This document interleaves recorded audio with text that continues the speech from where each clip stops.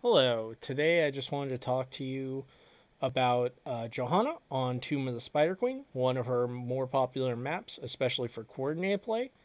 And I wanted to talk about, ever since her trait nerf, how much more dangerous it is to step in aggressively to collect gems. Um, so, something to be aware of. Uh, usually, you draft Johanna on this map as a wave clear tank, so you can walk far into the wave and collect the gems pretty safely while also using condemn and sometimes punish to uh, quick clear the waves, especially if you take eternal retaliation on four or um, the shield glare bonus damage does similar sins exposed. There you go. Um, but one thing to note, especially in coordinated play or high level play, they will punish you uh, every time you step too far up and the team opposing team is here with their wave, they will step up and try and beat you up as much as possible in an attempt to burn your trait. And this is in part because then when you go for your next rotation, you can't step aggressively forward because you won't have trait up again. Even with hold your ground, the cooldown is not short enough to be back up when you rotate from here to here anymore. Um, previously, it was only a few seconds off, so you could usually time it within reason. Uh, now it's just not a realistic option. So you can see the Mei here was trying to slow her down and pop, have the Johanna pop her trait. So Johanna steps aggressively in, clears the wave, loses, let's say, 25% of her life in the process, and is in relatively good shape. But the problem is the entire team is here, and her team's over here, and not necessarily looking for a full on confrontation. So the Mei comes back in from previously was top uh, comes out of the bush, slides in, and boom, Legacy's in now and slowed. And so what happens is the whole team turns on uh, Johanna here.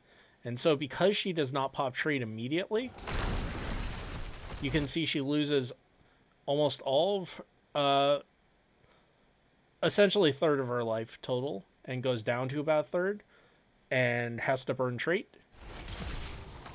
And even with all that, the Mei is body blocking her, and had there been one less team member here, or had they been less scared of tower damage, perhaps have trait up, she could have body blocked her all the way to the gate, and then just popped uh, trait and eat out again.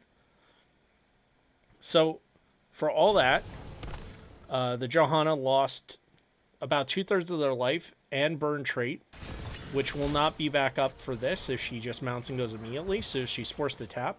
And again, if she goes immediately there, this will not be up. She has to take a little while to head back up, and it'll just come off cooldown as she arrives. But it's just an example of one aggressive rotation, which is the same one that's made again. Like, aggressive push into wave, rather, not aggressive rotation.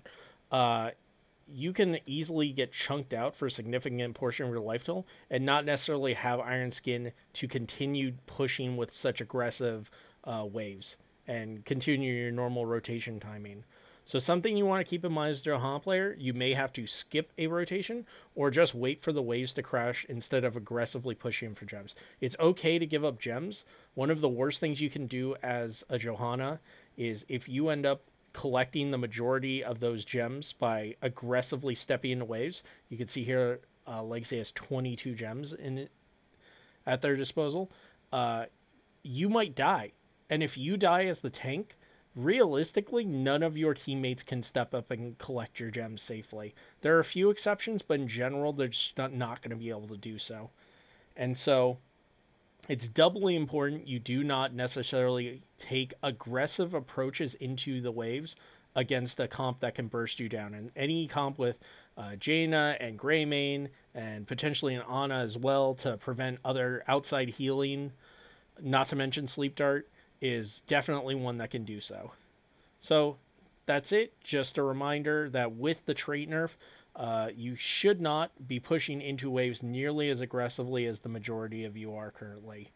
And I hope that helps. Thanks for listening.